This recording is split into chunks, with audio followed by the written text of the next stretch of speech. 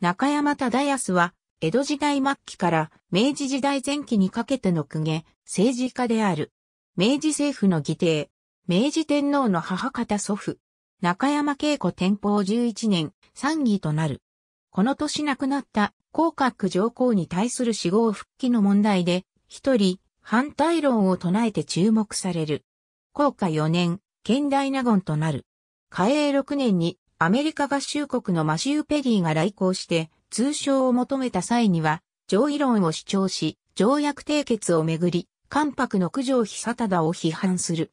安政5年、江戸幕府老中の堀田正俊が上洛して、条約の直居による許可を求めた際には、扇町三条実成らと共に、これに反対した。その後、偽装となる。後部合体派の公家として、万延元年、孔明天皇から和宮と十四代将軍、徳川家持の縁組の御用係に任じられた。その経緯から翌文久元年、和宮の江戸下校に随行するが、これが一部の過激な尊王上位派からの奮撃を生み、文久三年に偽装を辞職して失脚した。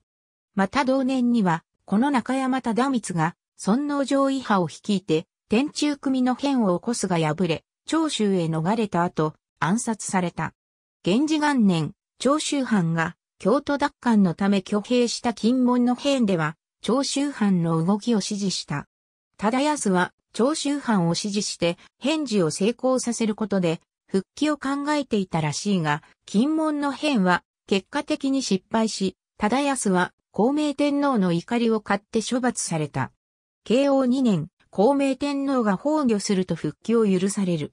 慶応3年、中見門常の扇町三条実成らと組み、将軍、徳川義信追悼の直所である倒幕の密直を、明治天皇から出させることにも尽力。その後も、岩倉智美らと協力して、王政復古の大号令を実現させ、正御所会議では、司会を務めた。その後、総村にあたる義人親王の養育を担当。明治21年、80歳で皇居。皇居直前に大勲位菊花大受賞を受賞した。日付は明治4年までは、旧暦中山中愛、中山忠光、大木町金忠、中山慶子東京都文京区の豊島岡墓地、中山忠康日記全三巻。ありがとうございます。